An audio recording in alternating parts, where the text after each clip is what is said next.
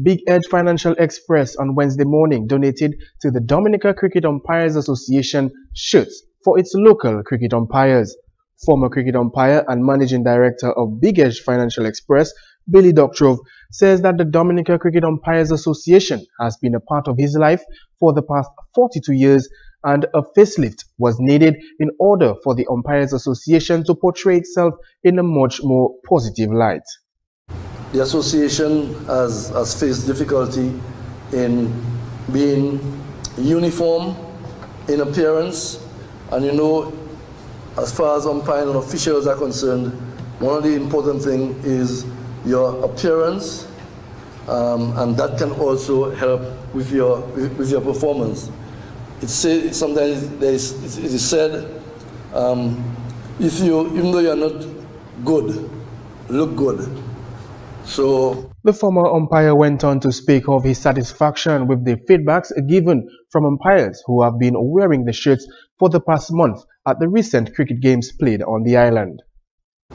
I am very satisfied with the feedback that we have had so far because the shirts have been given to the umpires for, over the past month. Um, but this is the official presentation, and I'm happy that they, the guys have expressed their satisfaction in terms of the, the quality, the fit, the appearance, the color, and the uniform uniformity of, of, of, of our members. Meanwhile, President of the Dominica Cricket Umpires Association, Heston Charles, noted that this is a special moment for the local umpires of the association. This is a very special moment as umpires. And let me say to Mr. Doctrove, in all the endorsement that your company have made, not because I'm, a, I'm an umpire, and I'm happy that the media is covering this, in all the financial contributions that you have made, that one will live beyond your lifetime.